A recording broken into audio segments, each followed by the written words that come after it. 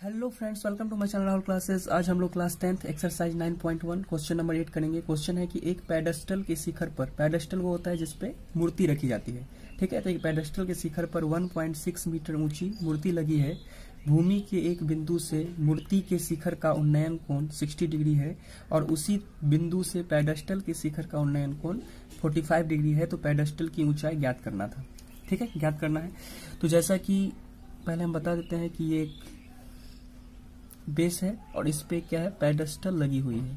और पेडस्टल के ऊपर एक मूर्ति लगी हुई है 1.6 मीटर का। ठीक है तो 1.6 मीटर यहाँ पे हम मूर्ति की हाइट है, यहाँ से लेकर के यहाँ तक। पेडस्टल ये रहा, उसके ऊपर मूर्ति ये रहा।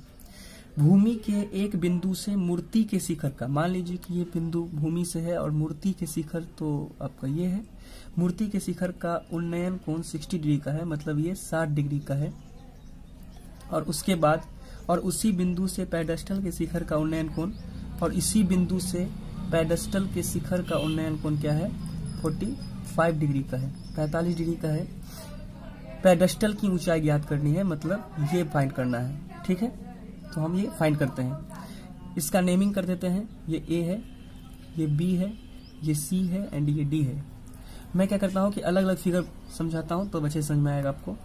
तो जैसा कि पहला फिगर बनेगा कुछ ऐसा। ये बी ये सी और एंड सॉरी ये सी और ये डी ये कितने डिग्री का एंगल बनाता है? B D C B D C कितने डिग्री का एंगल बनाता है? 45 डिग्री का। और इसकी हाइट मुझे ये भी नहीं पता है और बेस भी नहीं पता है। तो हम क्या करते हैं कि इसको एक्स ले लेते हैं और इसको वाई ले लेते हैं। ठीक है? एक्स वाई ले लेते हैं। और इसके बाद फुल फिगर जो है, कुछ ऐसा है। ये आपका सी हुआ, ये ए हुआ एंड ये डी हुआ। तो ये तो सी डी तो मैंने वाई लिया है और ए सी जो है, ये देखिए ए सी कैसे बनेगा? A B plus B C जो ऐड करके ए सी बनेगा। तो 1.6 और प्लस और ये वाले पार्ट को हमने क्या माना है? एक्स कुछ ऐसा बनेगा फिगर और इसका जो एंगल है वो कितने डिग्री का है? 60 डिग्री का है। अब इसको हम फाइंड करते हैं। तो पहले चलते हैं ट्रायंगल बी सी डी में। ठीक है? तो लिखेंगे ट्रायंगल बी सी डी में, देखा जाए तो मुझे बेस अगर मैं अगर मैं बेस फाइंड कर दूँ ये वाला तो इसके बाद मैं ये फाइंड कर सकता हूँ तो मैं बेस फाइंड करता हूँ। तो जैसा कि बेस के लिए पी वाई बी क्या होता है? टेन टेन थीटा में आता है तो tan forty five degree equal to क्या होगा? पी वाई बी पी मेरा कितना है? बी सी और बी मेरा कितना है? सी डी तो टेन का वन होता है टेन फोर्टी फाइव डिग्री का वैल्यू बी सी क्या है आपका? एक्स और सी डी क्या है? वाई क्रॉस मल्टीप्लिकेशन करेंगे तो इसके नीचे कुछ नहीं तो वन तो हम कह सकते हैं कि एक्स इक्वल टू वाई है। मैंने ये फाइंड किया। इसके बाद हम चलते हैं ट्रायंगल ए सी डी में। लिखेंगे ट्रायंगल ए सी डी में। ये फिर क्या है? पी है बी है तो क्या लगेगा? टेन तो tan sixty degree equal to क्या होगा? A C by C D तो टेन सिक्सटी का वैल्यू क्या होता है? रूट थ्री और ए सी अगर देखा जाए तो one point six plus x है तो लिखेंगे one point six plus x और बाई सी डी क्या है मेरा? वाई है। अब मुझे बताइए कि क्या वाई की जगह पे एक्स ले सकते क्योंकि वाई इक्वल है एक्स की। तो हम वाई की जगह पे क्या लिख दिए?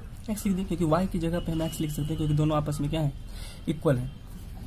अब क्रॉस मल्टीप्लिकेशन गुना करते हैं। जैसा कि इसको करेंगे तो क्या हो जाएगा? Root three x equal to one point six plus x है ना? इसके बाद क्या हो जाएगा? रूट थ्री एक्स इधर ही रहने देते हैं और ये प्लस को इस पर लाते हैं तो माइनस एक्स इक्वल टू क्या हो जाएगा? वन पॉइंट सिक्स अब देखते हैं कि इस दोनों में कॉमन क्या आता है। तो कॉमन अगर देखा जाए तो एक्स एक्स तो क्या कॉमन आएगा?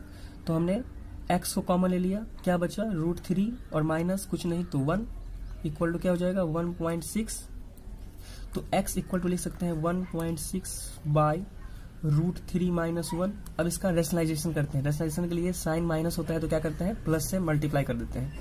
तो इंटू कर देंगे रूट थ्री प्लस वन ऊपर भी और नीचे भी कर देंगे रूट थ्री प्लस वन यही रेशनलाइजेशन कहलाता है। ठीक है? तो one point six root three plus one वैसा ही रहेगा। और बाई में देखिए, ये a माइनस बी अगर हम a इसको माने a माइनस बी और a प्लस बी तो a minus B A plus B क्या होता है? ए स्क्वायर तो मतलब रूट थ्री का स्क्वायर क्या होगा? थ्री और minus B square B square मतलब वन का स्क्वायर तो वन ही होगा। तो लिखेंगे one point six root three plus one by two इसको जब कट कर देंगे तो क्या हो जाएगा? Zero point eight two eight जा सिक्सटीन तो ज़ीरो पॉइंट एट तो क्या हो जाएगा? Zero point eight root three plus one metre, यही इसका क्या है? आंसर आई होप ये क्वेश्चन आपको समझ में आया होगा। अगर समझ में आया तो दिल से लाइक करें। मेरे चैनल को अभी तक सब्सक्राइब नहीं किया है तो ज़रूर सब्सक्राइब करें और बेल आइकन को प्रेस करना ना भूलें ताकि नए नए वीडियो आपको तुरंत मिले। मिलते हैं एक छोटे से ब्रेक के बाद। तब तक लिए good night take care and bye thank you